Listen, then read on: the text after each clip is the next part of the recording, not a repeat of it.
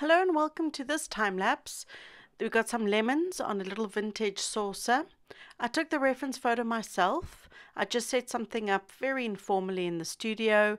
Basically got some black foam core, made a little box with three sides instead of four, and um, sorry, I'm lying. Actually, it was two sides, and just had and had a like a roof on it is that is that really good English? I don't know. Three sides in total. So one side was open and that's where I had my lamp. So I could get that light shining directly on the little setup. So very, you know, impromptu whack whack together. Um, so working on Pastelmat paper here. It's in the blue colorway, the dark blue. Uh, the measurements are 17 centimeters squared. And you're probably wondering, why on earth is she doing two lemons the exact same? And that's a very good question. Um, I have explained in previous ones that um, so these go to a gallery, and I mistook um, the owner of the gallery for saying I should do two at a time. But what he meant was do two lemon paintings at a time, not two exactly the same.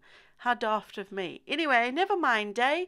Um, so basically, it means you can crack out two paintings in a, a, space of like an hour and a half, you know, because I've got all my pastels, um, all the colors out in one go, it makes sense. So, anyway, so that's why I have got two paintings out at the moment. I don't do this anymore. No, I'll do two different ones. Anyways, that's a bit thick of me, but never mind, eh? Never mind. So you can see I've got a very loose sketch in and I've finished um, with the background. Um, so you can see it's pretty dark. And I do go in at the end and add a little bit more color to it.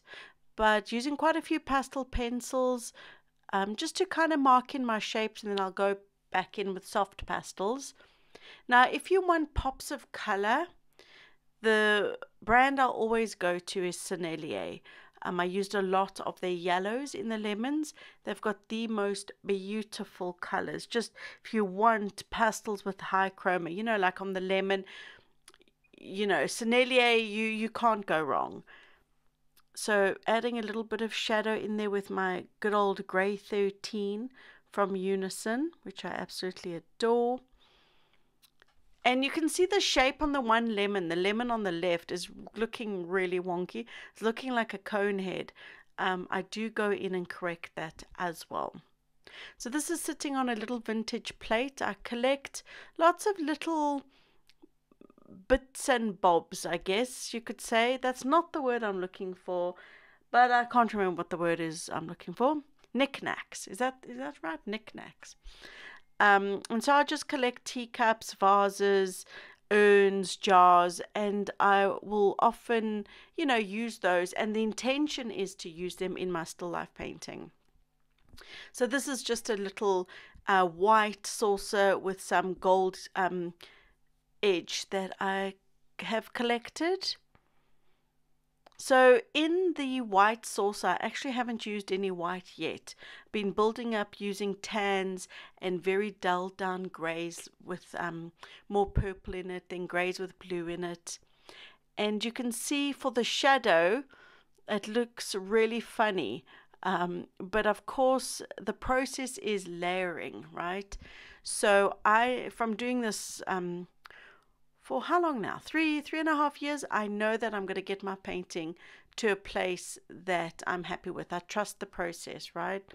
So I went in and I marked out the shadow, and then you'll saw I came back in with the table because the shadow is obviously just a shadow and you've still got to put in whatever's underneath the shadow you know whatever um, surface the shadow is being cast onto. Gosh, my English is not very good today, is it?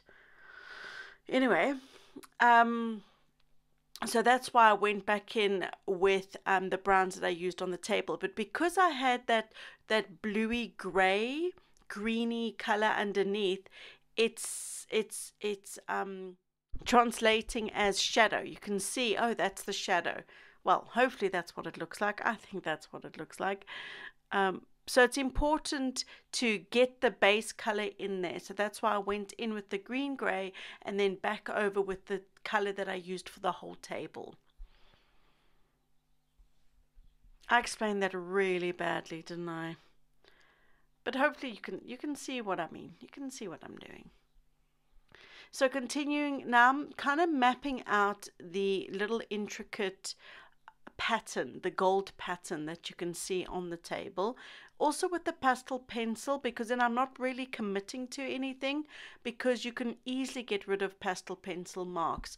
You can also on Pastelmat with pastel sticks but it's a little bit tricky and I, I, you know if i'm unsure about something I, I prefer to work uh, first with the pastel pencil so you can see that i've got the shadows of the um, lemons on the white and I've used qu um, quite an orangey brown mixed in with like a mauve grey and a grey um, just because you're dealing with a white saucer and then a little bit of the color of the lemon is going to reflect onto that plate. So it's not going to look you know just gray. It's going to have a little bit of um, color so there we go, working in um, the yellows, a mixture of um, yellow orange and then going to brighter yellows. And like I said, mostly using Sennelier. And then sometimes I'll use my pastel pencil just to kind of move the pastel that I've laid down a little bit more into shape. I've also got, so also one of the main colors in this lemon, I should say, is Yellow 10 by Unison. It's that beautiful, vibrant yellow. It really is lovely. So for the little details like the pips, um, just mapping out where I want the pips in with the brown pastel pencil. And then going over with um, Brown Olive 10% by Caran d'Ache, which is that light sort of creamy color. So always paying close attention to my reference photograph.